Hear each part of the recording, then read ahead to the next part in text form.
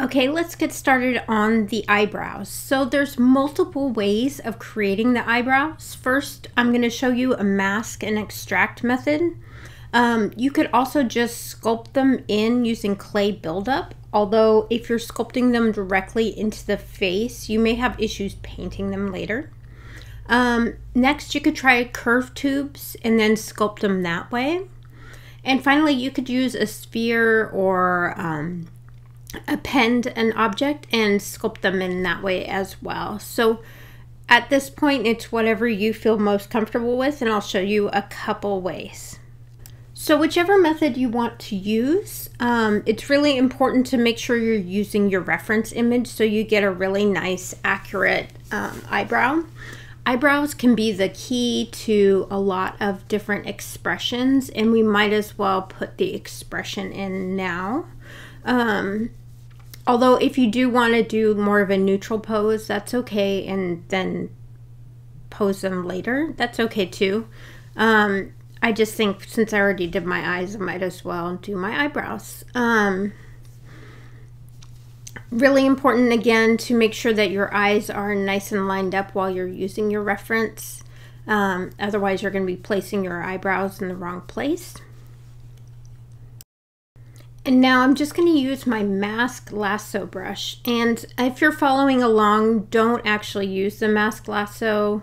I think that the mask pen will work better, but I want to show you this method. This could potentially work, but from my um, experience, the eyebrows turned out a little too bulky rather than the pen was a little more precise. So I'm going to show you this and just kind of speed it up. So I'm using my mask lasso brush to just draw out on my face layer.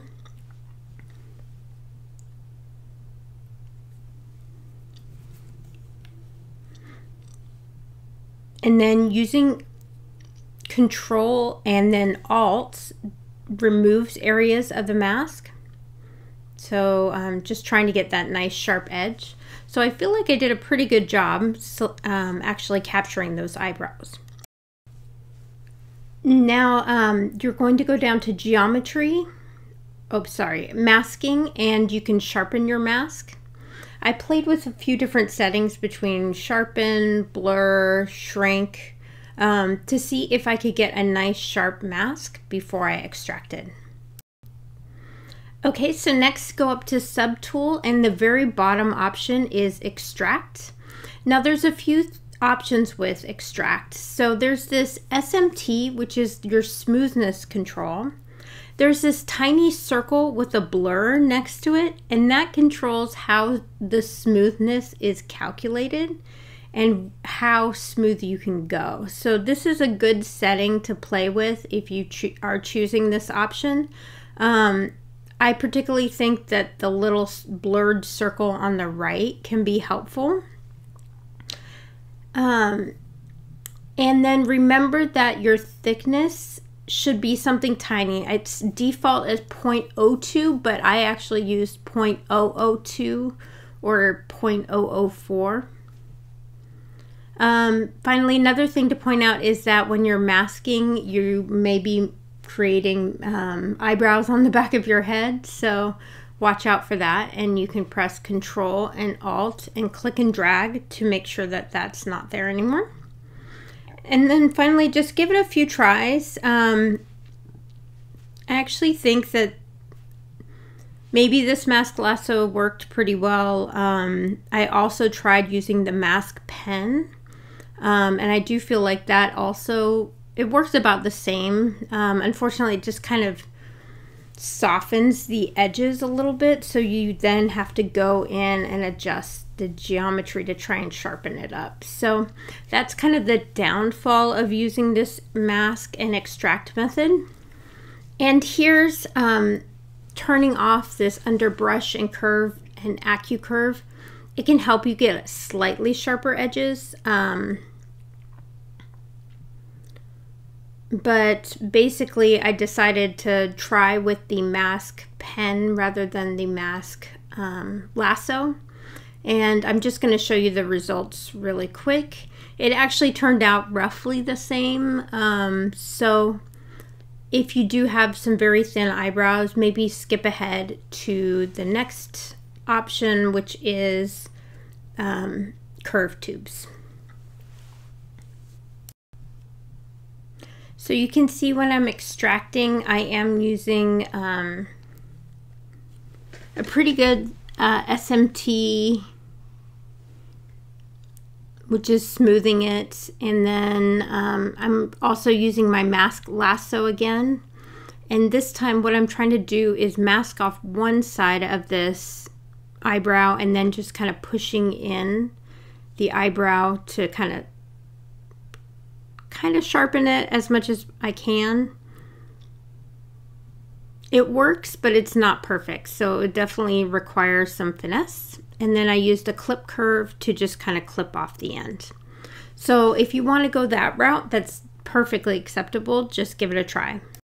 Okay, so here's the other way that we can um, create our eyebrows is with curved tubes. So after looking at this, it actually turned out um, not as bad as I had thought the mask pen version. So I was just going to add some color to those eyebrows and no use in deleting them. We might as well keep them until we can figure out, or I can figure out um, which method works better. Okay, so if we remember for our curved tubes, they were, it has to be made on an object without subdivisions. So what I did was go to my eyeball layer and delete any lower subdivisions just because the eyeballs are pretty pretty fine how they are. Um, and that'll enable us to draw these um, curve tubes. So I went ahead and drew a an eyebrow. I kind of remember how the shape goes because I tried with the extract.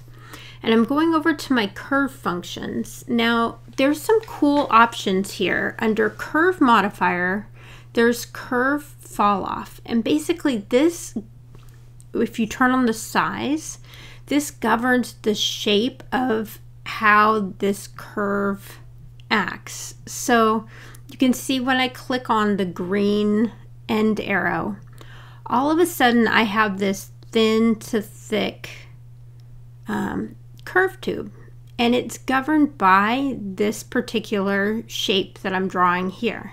So you can add as many curve points as you want and make adjustments um, and then just come in and click one of the end points and see how it affects.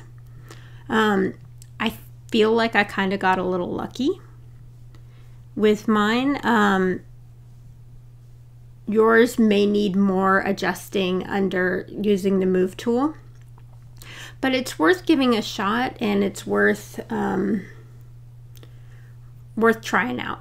So that's stroke and curve modifiers and then when you're happy with it hit delete and that will delete that actual the um, checkerboard curve. And then once that's done, you can just use your move, scale, and rotate tool to scale it to size. And then the other important thing that you have to do is that you're going to need to, if you didn't have symmetry turned on, for some reason I always make mine on the right hand side, but you actually have to mirror it over first and then mirror and weld because when our mirroring happens, it goes from left to right. So I'll just show you that as well. But you can see, I think I did a pretty good job on this. So I got lucky the first try. Okay, so to finish this up, I'm just going to mirror this over. So mirror is located in the deformation menu set.